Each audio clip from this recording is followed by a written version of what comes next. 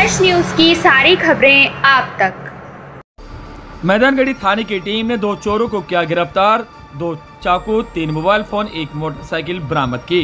South Delhi जिला के DCP चंदन चौधरी ने मीडिया को बताया कि PP Bhati mines, PS Maidangarhi के पुलिस टीम ने दो चोरों को गिरफ़्तार किया है, जो एफआईआर संख्या नंबर पाँच सौ उन्नीस धारा 25 आर्म्स एक्ट के तहत दो हताश चोरों को गिरफ़्तार किया है। जिनकी पहचान मनोज उर्फ़ मन्नू, ये PS Maidangarhi, PP Bhati mines का बीसी है। इसको गिरफ़्तार करके शहर ने काम किया है और arms act P PS Maidangarhi में मोनिस खान उर्फ़ मनीष इसको गिरफ़्तार किया। ये बीसी है फतेहपुर बेरी का, जिसकी एफआईआर संख्या नंबर 520 बटा तेईस पच्चीस आर्म्स एक्ट के तहत दो मामले इन दोनों पे अलग अलग थे और सात मामले सुलझाए हैं। इनके कब्जे से जो बरामद किया है, दो चाकू बरामद किए हैं, तीन चोरी के मोबाइल फ़ोन, एक यूज़ करने वाली अपराध में मोटरसाइकिल, एक चोरी की टीवी, चोरी हुआ आधार कार्ड भी इनके पास से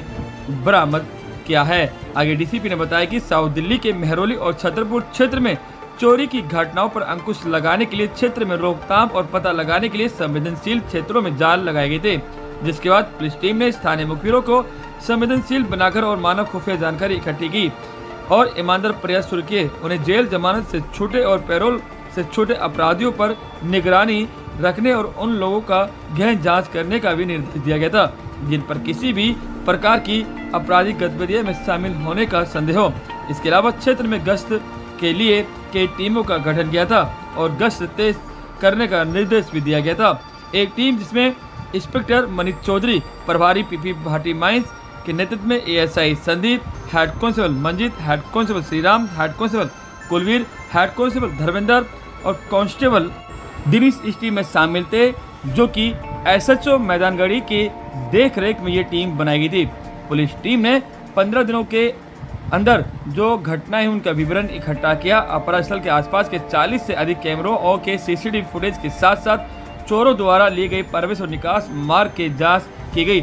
और आखिरकार पुलिस को सफलता हासिल हुई और दो चोरों को गिरफ़्तार किया गया, जिनकी पहचान पहला मनोज उर्फ़ मन्नो, पुत्र रामकुमार, निवासी संजय कॉलोनी, भाटी माइंस के रूप में हुई।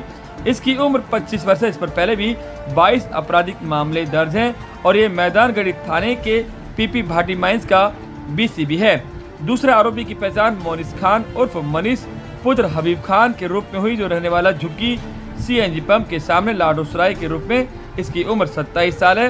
ये फतेहपुर बेरी थाने का बीसीबी है। इसमें 25 आपराधिक मामले दर्ज हैं। बहरहाल, इन दोनों आरोपियों से पूछताछ जारी है। आरोपियों के कब्जे से दो बटन संचालित चाकू, इसके अलावा तीन मोबाइल फ़ोन चोरी के अपराध में प्रयुक्त एक मोटरसाइकिल, एक चोरी हुआ टीवी और चोरी हुआ आधार कार्ड भी बरामद हुआ है। सात मामले सुलझाए गए हैं।